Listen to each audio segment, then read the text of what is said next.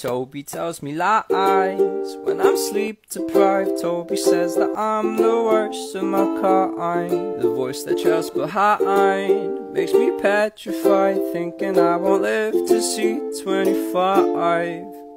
They tell me I should go, go, go, go. They say I have no home, no home. They tell me I should go.